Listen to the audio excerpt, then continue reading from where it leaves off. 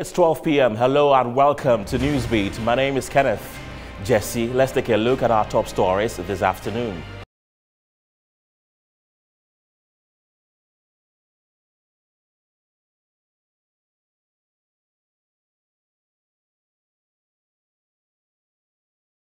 Grieved prospective pilgrims protest and call for the removal of Hajj Board Chair Sheikh I.C. Quaye of allegations of embezzlement and incompetency as this year's pilgrimage to Mecca begins today.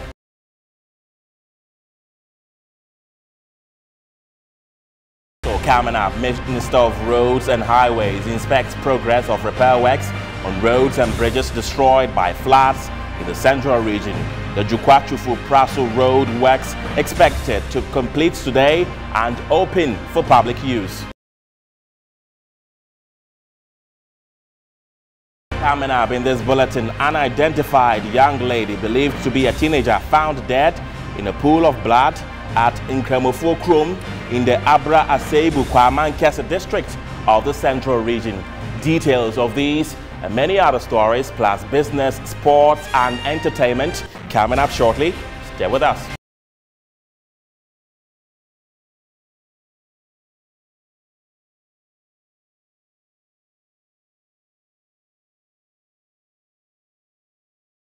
Welcome to the program. Now, 2022 pilgrimage to Mecca for Hajj by Ghanaians begins today, hours before the first batch departs from the country, though, a Muslim group called Patriotic Muslim Front is protesting against the board chairman of the Hajj board, Sheikh I.C. Quaye. They accuse him of embezzlement and incompetency, and thus is calling on the president of the republic, Nana Akufo-Addo, to, as a matter of urgency, sack the board chair. Some prospective Hajj pilgrims earlier alleged they had been handed a raw deal by the National Hajj Board in the amount expected to be paid by pilgrims for this year's Hajj. According to the aggrieved prospective pilgrims, the Hajj board led by Sheikh I.C. Quaye has breached an agreement it concerted to in 2020 and 2022 when the annual pilgrimage was suspended due to the outbreak of the COVID-19 pandemic. My colleague Kofi Otuo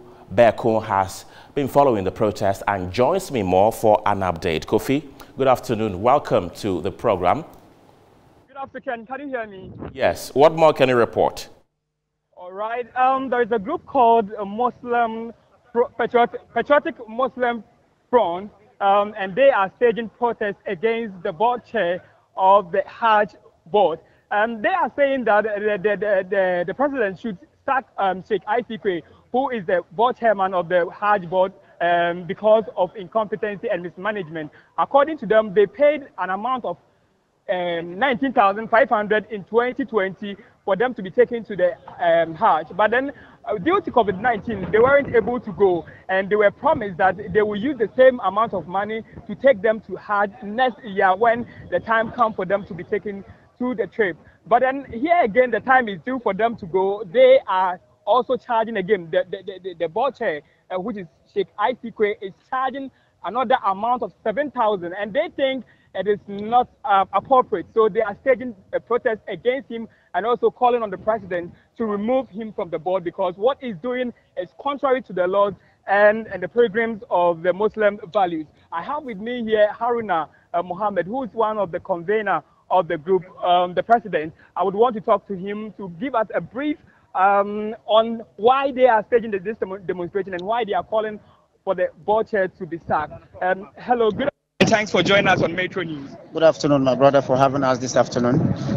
You are calling for the board chair to be sacked. Why are you calling for Mr. Sheikh I.C. Quaye to be sacked from the Hajj board? Thank you very much for this opportunity.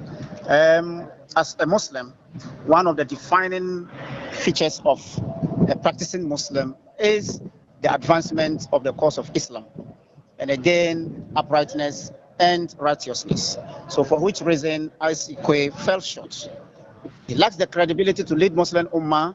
He lacks the credibility to lead the board as chair. Now, if you recall, in 2019, because of the pandemic, in 2020, Hajj pilgrimage did not take place. And um, as a matter of fact, um, if you look at the paragraph 3 that was signed by Sheikh I.C. Quaye, indicating that in the event where they resume, Hajj operations, those who decide to leave their monies in the account of the Hajj would not be affected.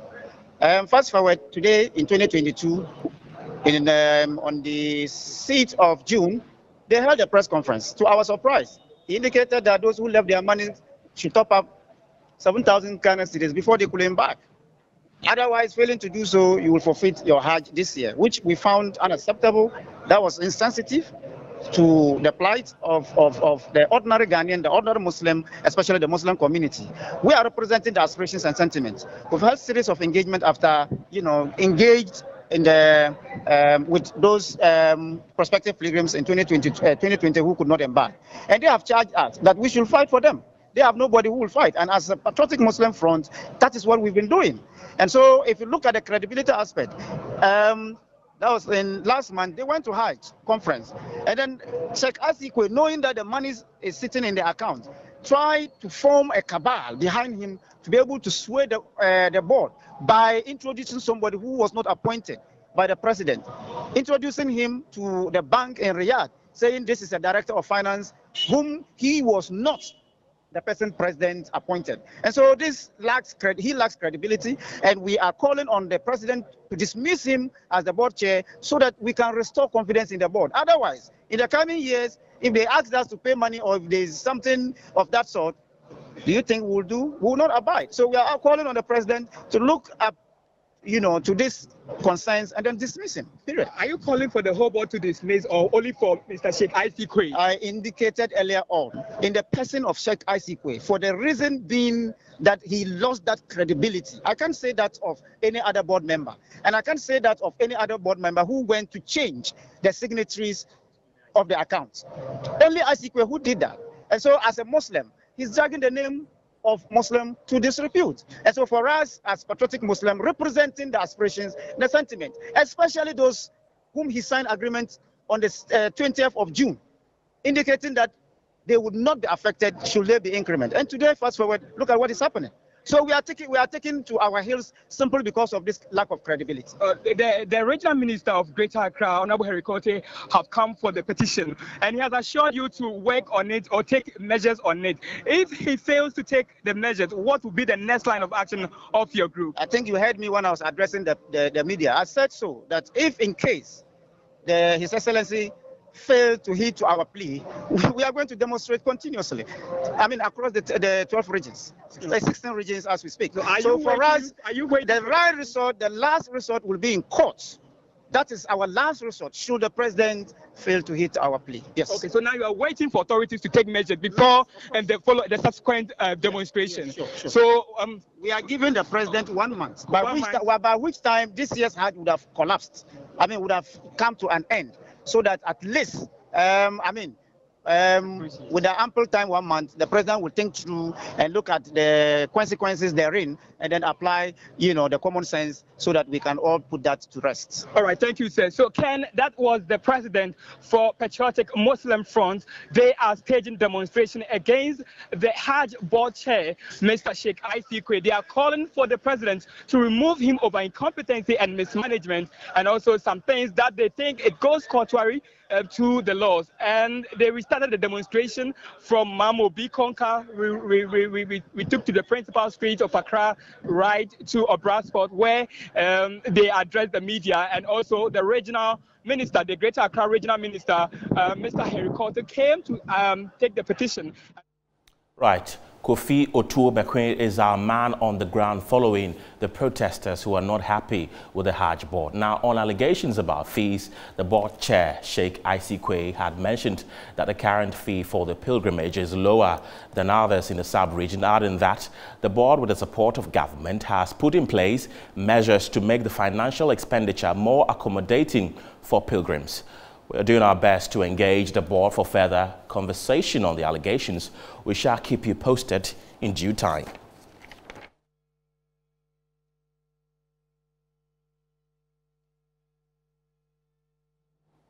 And at the Hajj village here in Accra, our colleague Rosemary Anyigba joins me now for a situational report. Hello, Rosemary. What more can you tell us? Pilgrimage to Mecca in the Kingdom of Saudi Arabia is one of the largest gatherings of its kind in the world. After two years of suspension due to COVID-19, the Saudi Arabia Authority have reopened the kingdom doors to foreign Muslims. I'm currently at the Hajj village in Accra and the place looks a bit dry with a handful of persons. Information I've gathered here indicates that all focus is at Tamale since the first batch leaves from there. Some people here have refused to speak on camera since the authorities are not yet around. Metro TV will follow up and keep you updated. Rosemary Anyingba, Accra.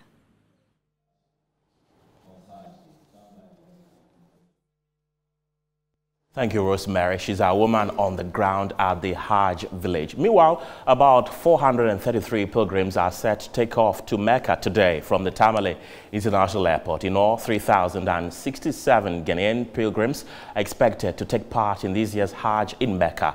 My colleague Al Hassan Dibaba is on standby to give us more. Hello, Dibaba.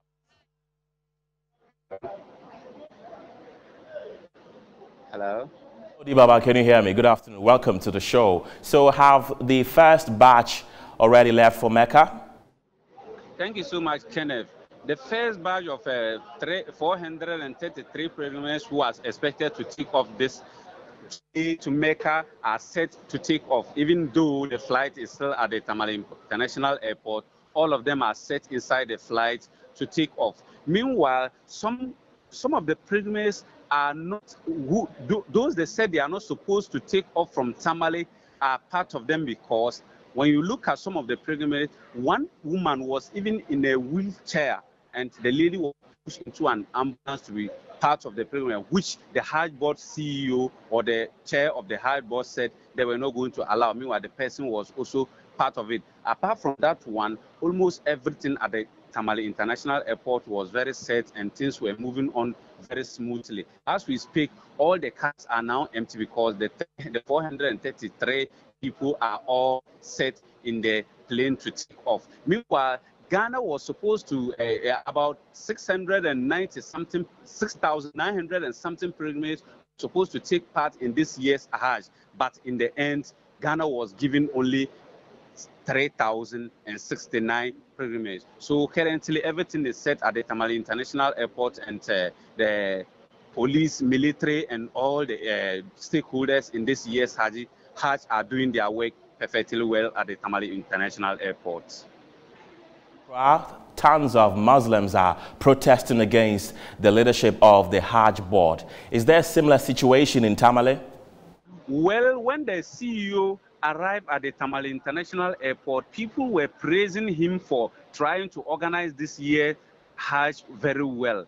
Meanwhile, we had we had information that somewhere in Accra, many Muslims are protesting against his leadership, but there's nothing of such nature in Tamale here, as people were very happy seeing him, and he spoke to them. He even urged them to cooperate with the authority in Saudi Arabia to ensure that nothing untoward happened, most especially to pilgrims from Ghana. Right, Al-Hassan Dibaba, thank you very much for speaking to us this afternoon. To a rather devastating story as a young lady believed to be a teenager has been found lifeless in a pool of blood a suspected murder case. The body of this girl was found in Nkramofoɔ Kurom, a community in the Abra Asebu Kwamankese district of the central region. According to eyewitnesses, the lady might have been killed somewhere and the body dumped close to a oil filling station in the community. The sad incident happened yesterday at 3 p.m. local time and according to the police, the body has been conveyed to the Cape Coast Teaching Hospital for investigation. No arrest has been made. Metro News will follow up and keep viewers updated.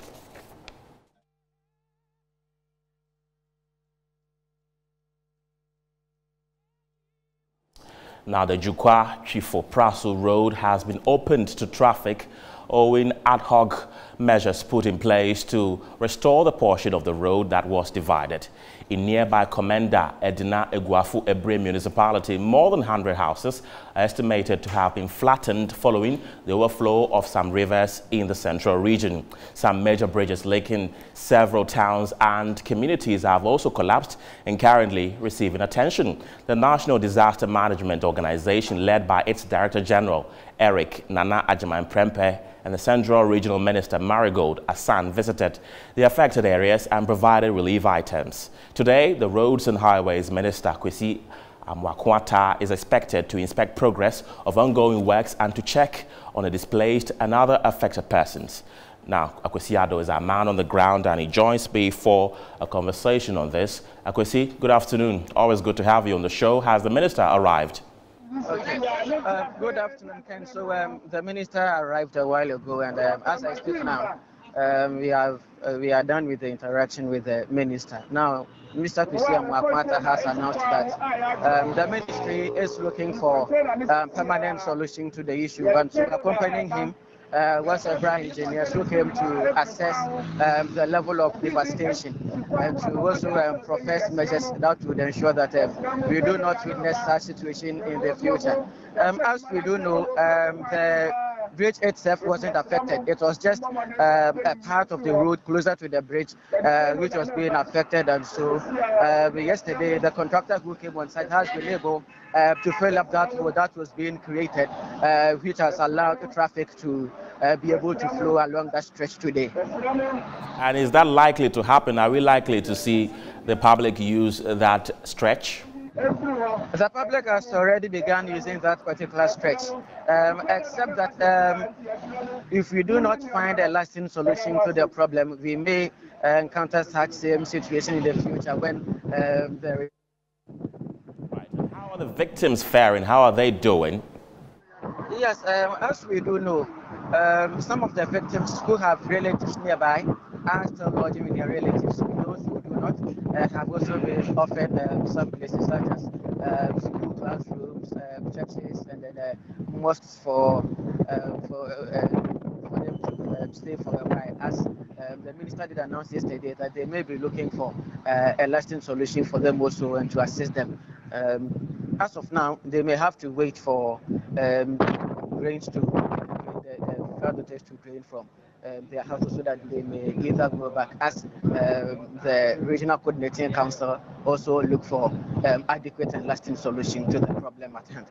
Okay, Akwesi Addo, thank you very much for speaking to us. He's our resident correspondent in the Central Region. Meanwhile, communications team member of the National Democratic Congress, Beatrice Annan, has called out the government on its failure to stop perennial flooding after allocating huge sums of money to its outfit to fight the menace.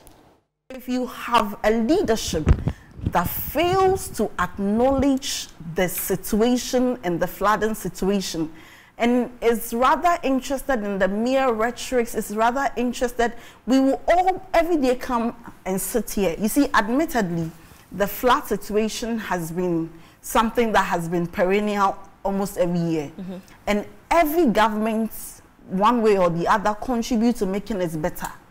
But when John Mahama was in power and the June 3rd incident happened, members of the NPP made it look like uh, John Mahama was a meteorologist who was responsible for the rainfall and subsequently responsible for the death that occurred at June on the, I don't know whether it's June 3rd or June 4th.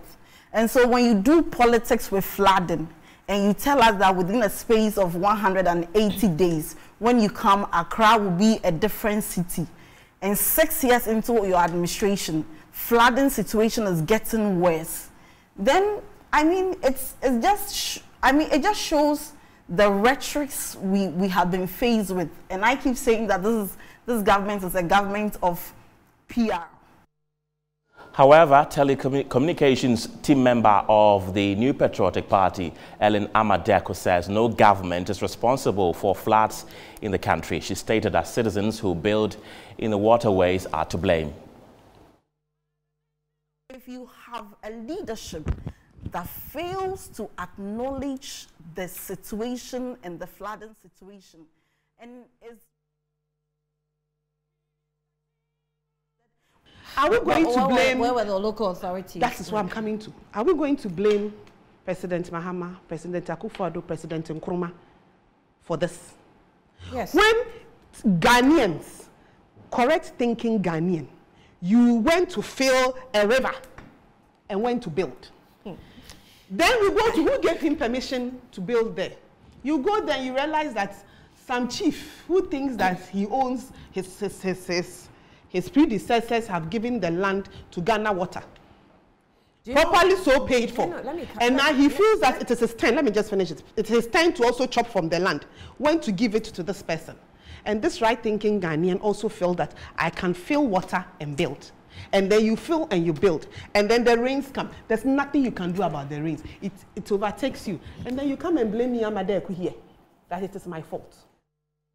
Let's bring you more stories as the Greater Accra Regional Coordinating Council and the Regional Security Council has given a 48-hour ultimatum to all owners of houses situated at the CSIR and Animal Research Institute lands at Frafraha in the Adentan municipality. Speaking at a media engagement in Accra, the regional minister Henry Quartey said demolition exercise on the first 200 acres of encroached lands is scheduled to commence soon and will be unannounced. We wish to place on record that none of the buildings within the inner perimeter of the 200 acres of land have been given or issued permits by the Adentan Municipal Assembly. The intended action of the Regional Security Council, supported by the Adentan Municipal Assembly, shall be carried out without notice. The above indicates that Adentan Municipal Assembly has the power to remove the structures that are mushrooming on the CSIR lands without prior warning.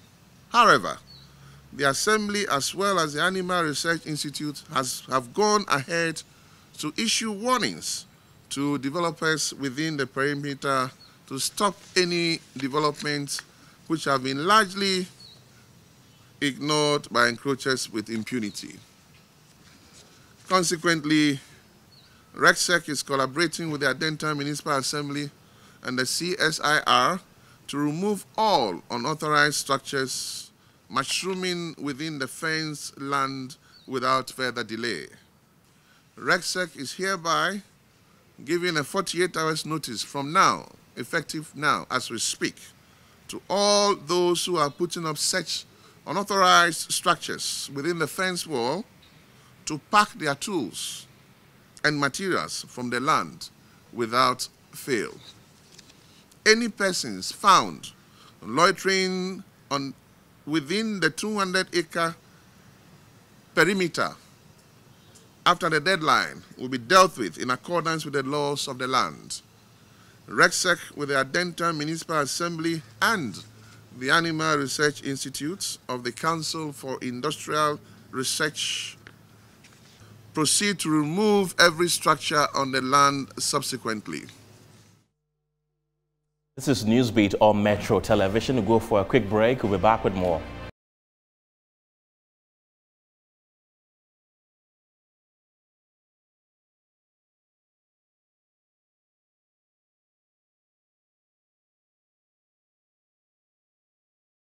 You're Welcome back. The Yilo Krobo Municipal Security Council has given an indication that the military detachment currently accompanying engineers of the ECG in the ongoing prepaid meter installation exercise in the Krobo enclave may be withdrawn. 50 armed military personnel have been deployed to assist workers of the ECG to undertake the exercise in the Krobo enclave. Although the ECG says the armed military personnel are only providing technical support, residents and some traditional leaders of the area have raised concerns over the soldiers. I've been joined on the phone by the Municipal Chief Executive of the Yilo Krobo Municipal Assembly for a conversation. Good afternoon, Honorable. Welcome to the program. What has made the withdrawal of the military imminent? Thank you very much for, for the opportunity. But let me just uh, clear this thing. I, I, it wasn't a categorical statement I made. It was a response to a question he asked that uh, what is the my, my, view? It was in fact my personal view of the agitations by the chiefs from Odumasi area, the uh, uh, Manya Krobo, uh, Lower Manya Krobo area, and I said that the reason why the military came in was that um, ECG workers uh, reported that uh, they've been attacked by some some youth groups, and when we listened to some meetings that they held with the, the tape uh, recordings that we, we, we chanced on, it made us uh, feel that uh, we should not uh, play with, with, their security. Uh, mind you, we had had a problem in the municipality here where the ECG staff, the union, told their management that anything that they, they will hold management responsible for any any harm or any, anything that happens to any of their staff. And it led to the closure of the Somanya ECG office. So I was telling the interviewer that um, if people feel that the presence of the military doesn't speak well about us, because uh, come uh, to look, uh, come and uh, come uh, to think of it, that um, uh, just installation of prepaid meter it is soldiers who are uh, guarding them to do it. it. it. tells you that probably these people are difficult people. Right. So if the chiefs felt bad about that, then the only way that can solve that problem is for them to guarantee the safety of the workers of ECG. And so if they come and they say openly and say that, look, we are ready to even ask chiefs. We, we have the youth leaders and other people, uh, chiefs. Uh, we are ready to use them to support ECG to implement this uh, prepaid. And then the, the, the, the, possibility of them uh, going will be there. Right. Mind you, this prepaid meter, uh, uh the issues people have with it was that, uh, you know, uh, ever since I, I, became MC, I've sat in about two, three stakeholder engagements that ECG organized. And the problem I, I realized was that those people who uh, attended the meeting as reps of their groups never went back to tell them. So the stakeholder meeting that they had, uh, they, uh, they asked the uh, traditional council to, to come, they bring somebody, they asked the uh, Christian council to come, they bring somebody, the Muslim community, they bring somebody, the youth groups, they bring people, the media. So we discussed a whole lot of things. So now if people are saying that they, uh, they are not aware that prepaid meter was going to be installed in a proper area, it tells you that those who attended the meeting never, never uh, informed their members. And uh, the, the prepaid meter too was uh, uh an answer to a question uh, of uh, the people's mistrust for. ECG workers. Let, let, me let me let me come in here. You say that what we just discussed was an answer to a question you gave someone, but you being the head of security in the area, should we not take it as an official statement? No, no, what I'm saying is that, so may, well, I say maybe, but people are not talking of uh, what uh, the, the, the, the, foundation of the may. Right? The foundation was that if, if people are uh, not happy with military uh, uh, guarding the EC from doing that, then people should guarantee that if they go, there should be. So that's why you say may. That, that's why the guy put may, but it's like people are putting it as if uh, it is a, a, a final thing. If I don't have the power alone to take that decision. Right. Because as MUSEC chairman, I don't have all the security details. That is why we say MUSEC. So it is a MUSEC decision that I will carry. But this one was my personal view that, oh, if my chiefs are not happy with the presence of the military, then all that we can do is that let us guarantee the safety of ECG people. Then probably they can be withdrawn. Okay. Honorable, how is progress of work so far? Oh, so far, so far, so good. Uh, but I believe that there's a need to engage. If people are genuinely saying they, they, they, are, they, they are not aware, uh, they have issues, uh, uh some issues are genuine because, you know, they are replacing meters. Uh, so when they come to the house, a compound house of about 20 people, and they have only two meters there. That is what they are replacing. Okay. Then, if anyone wants to request for a new meter, that person will have to pay for it. That one, it's 700 cedis. So people are saying, yes, we want the prepaid meter, but it is expensive. The, no, please, the extra uh, one. Come clear on this. Are you saying that they are only replacing meters at houses where there's a large household with few meters? Oh, no, no, no, no. What I'm saying is that uh, you asked me the progress of when I say it is it is going on well. Okay. Meanwhile, I think that if people have challenge, uh, they, we have some challenges with some of the of, of the work that is going on. It, it's important we also look at, at those ones. And one, um, I'll just give an example. So it's not like only places that they have, but it's, it's across every every house. Okay. But Briefly, before, before, before I let you go, you said that even if you withdraw the military personnel, you will have to get some guarantees or assurances from. No, no, what I'm saying is that what I'm saying, what I said was that. Okay.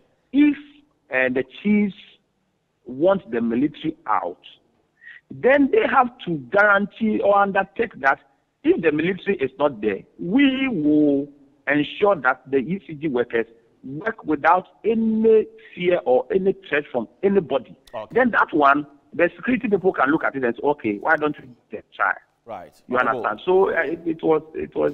I want that one to be clear. That okay. I, it was a question that, uh, what, what is your view about what the chiefs are saying about the presence of the military? and right. I said that we are where we are because of the intransigence of some of our youth and and and uh, if if we, we, we show good character, why not?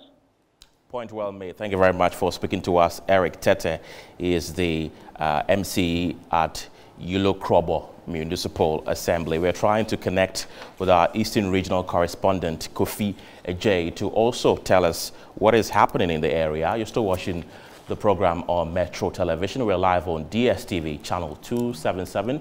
We're also live on Facebook at Metro TV Ghana and on Twitter at Metro TV GH. You can share your thoughts on the issues and stories we've discussed so far on the show. As I indicated earlier, we're trying to get in touch with our Eastern Regional Correspondent, Kofi Ejay, to tell us really what is happening on the ground because we just had the MC of the area uh, inform us about the decision that they are likely to take if they can have some assurances from the chiefs in the area. I understand our correspondent, Kofi J, is on the phone right now. Kofi, good afternoon. Welcome to the show. Yeah, afternoon. What have you gathered so far? Um, as it stands now, um, the ECG operations will start today and they will still be at home.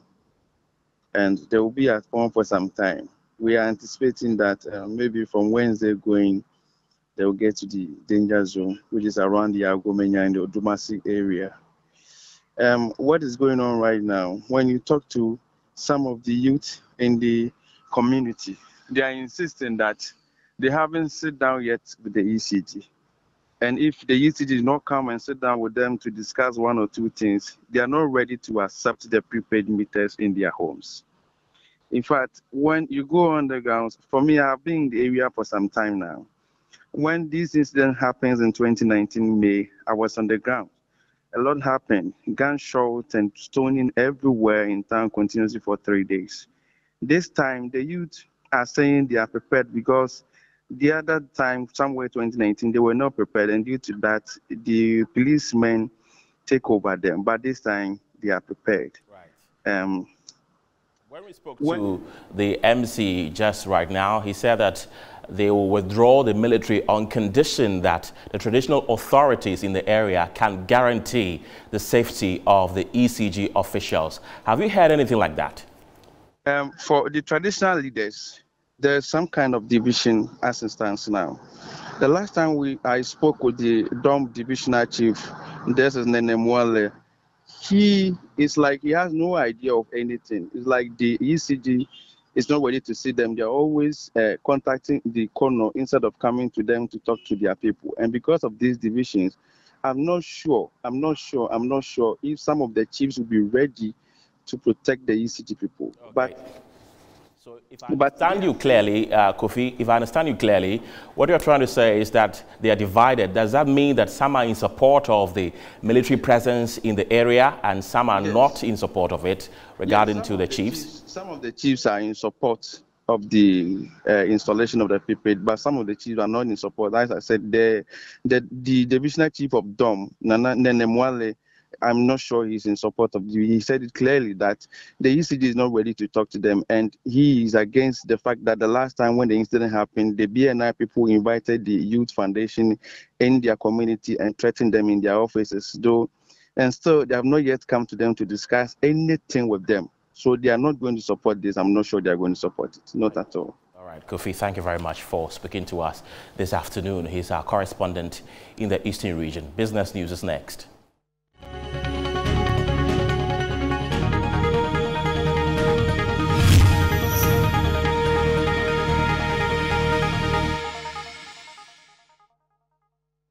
And in business today, a member of the Bank of Ghana's Monetary Policy Committee, Dr.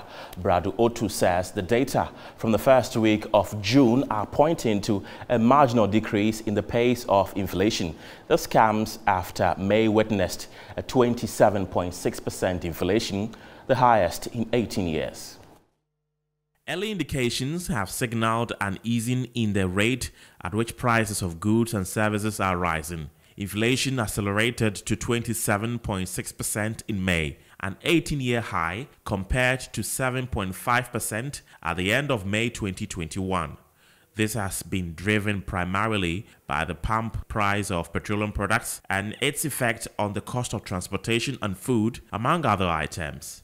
The bank's latest forecast shows a continuing elevated inflation profile in the near term with a prolonged horizon for inflation to return to the target band. Inflation expectations by consumers, businesses, and the banking sector have also heightened. According to the central bank, risks to the inflation outlook are on the upside and emanate from the availability of inputs for food production, imported inflation, continued upward adjustments in, in ex pump petroleum prices and transportation costs, possible increases in utility tariffs, and potential wage pressures. The second round effects of these price adjustments are expected to further amplify inflation pressures in the outlook. Efficacy of the central bank's primary monetary policy tool, which is its inflation targeting framework, has come under scrutiny in recent months as inflation continues on the ascendancy. Now, with only a few days to the deadline for recapitalization within the insurance industry, foreign-owned companies are now evidently poised to dominate the market. The deadline, originally set for 30th June 2021, was first extended to January 2022 and for an additional six months to June 2022 due to the effects of the COVID-19 pandemic. It is the biggest ever recapitalization of industry operators to date, a 233% increase in the requisite minimum capital for insurance underwriters to 50 million Ghana cedis from 15 million Ghana cedis, a reason some ascribe for foreign companies expanding their footprints due to the inability of local firms to meet the requirement. However, in actual fact, foreign investors started flooding Ghana's insurance industry even before the latest recapitalization levels were announced. Indeed, the effects of recapitalization on the industry's ownership structure have been smaller than many industry analysts predicted. Two local firms have taken on foreign investors to meet the new minimum capital requirement. But the primary reason behind the surge in foreign participation is the large yet grossly underexploited potentials of Ghana's insurance market. Insurance penetration has been abysmally low, estimated at just 2% as of 2019. The economy had been growing faster than most other economies across Africa from 2017 until this year,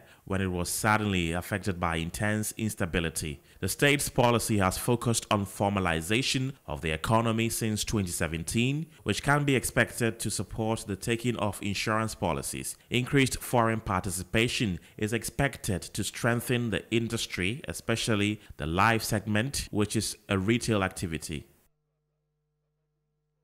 John Corte is standing by with the latest in sports after the break.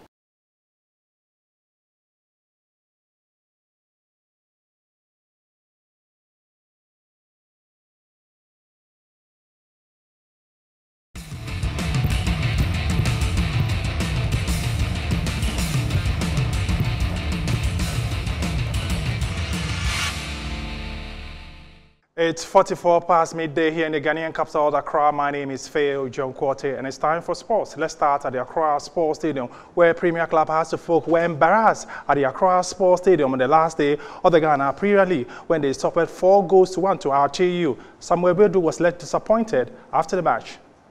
Really, really bad. Even, I don't know what to say, but it's a game. It's quite unfortunate. So I think that uh, we made a lot of mistakes during this match and then we have a lot of work to do. Uh, I think uh, the, the players, instead of them to stick into their various positions, you could see that some of them are running around without positioning themselves well. I think that costs us a lot. But this is the work of a technical team. We have to work extra. I believe in my boys and I know what they can do. Well, still in the Ghana Premier League, newly crowned champions of the EPL, not EPL, Ghana Premier League Asante Kotoko wrap up their league campaign with 1-1 draw against Accra Lions at the Accra Sports Stadium on Saturday. Prosper Ogum is the head coach of Kotoko. Yeah, I think it's a fair result. I think we had our chances, especially in the first half. Uh, we were very dominant in the first half, created some few, though not full chances, but half chances that we could have taken advantage of. I mean, the second half, I think they came in especially when they got their goal. So when they got their goal, they, they sat back and decided to knock uh, the ball around.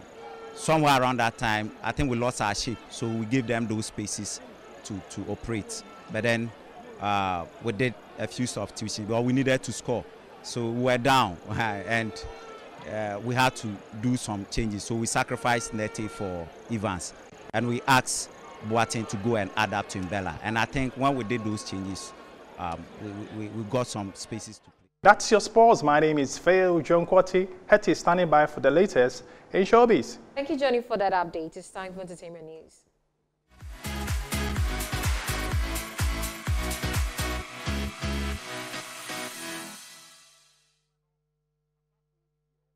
Now, following the highly successful release of the African remix of his hit single Sugar Cane, Camidoh is set to release a Spanish remix according to reliable information.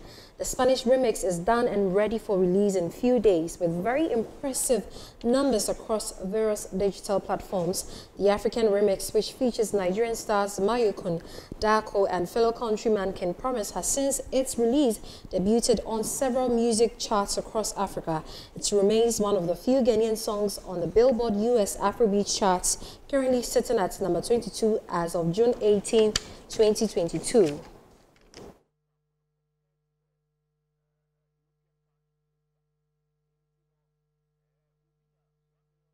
Now, the lady who was assaulted alongside her husband and his friend by Nigerian Afrobeat musician Burna Boy's associate has finally spoken out of silence. The lady, simply identified as Briella Nemi, took to her Instagram stories on Monday, June 20, 2022, where she gave a breakdown of what transpired at the nightclub on that fateful evening. According to Briella, they were visiting Nigeria from the United States of America and the United Kingdom for their friend's wedding. They visited Cubana nightclub to celebrate the couple in the company of about 20 friends when the ugly incident occurred. Briella narrated how she was accosted three times by Burna Boy's men requesting her to meet him. On the first attempt, I told them I wasn't interested in talking to Burna Boy and I'm married to my partner. He came again the second time and was met with the same response. He came the third time, and that caused a few of our friends to flare up as they asked why he kept coming to disturb me. She recounted. She said this led to a fight between her friends and Burna Boy's team. However, it was briefly resolved by the security personnel at the club. Things took a different turn when Burna Boy's friends started a fight again and they started shooting. She alleged that Burna Boy gave the green light to his security to start shooting at them in the club while he laughed about it. Briella, while recounting what happened, said within a split second there was chaos in the club. Her partner and friend were shot in the head and leg, respectively. The young lady said it took the owner of the nightclub, Obi Cubana, four days to reach out to them after the shooting. Briella said she had been traumatized since the ugly incident. The news of Burna Boy and his associates almost killing fun seekers at the club broke some weeks ago. Several eyewitnesses gave accounts of how the singer and his crew acted in an uncivilized manner, causing harm to both people and properties at the club. That's it for entertainment news on Newsbeat. My name is Harriet Adi Kenneth. Thank you very much, Harriet. International news is next.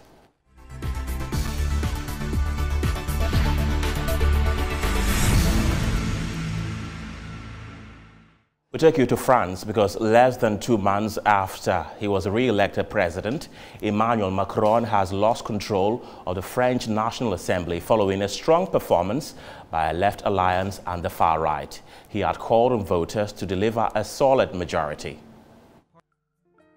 French elections, Macron loses majority as French says in bringing together mainstream parties from the left with communists and Greens into an French elections, Macron loses majority as French says in bringing together mainstream parties from the left with communists and Greens into an French elections, Macron loses majority as French says in bringing together mainstream parties from the left with communists and Greens into an French elections, Macron loses majority as French says in bringing together mainstream parties from the left with communists and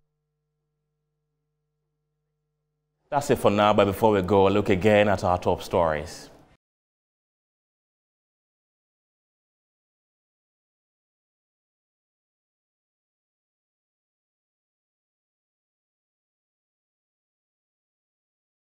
Aggrieved prospective pilgrims protest and call for the removal of Hajj Board Chair Sheikh I.C. Quaye over allegations of embezzlement and incompetency as this year's pilgrimage to Mecca begins today.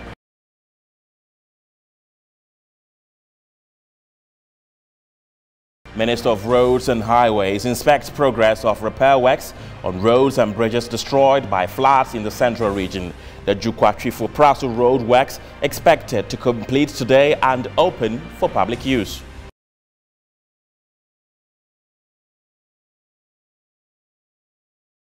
An unidentified young lady believed to be a teenager has been found dead in a pool of blood at Inkremufro Krum in the Abura Asebu Kwamankese district of the central region.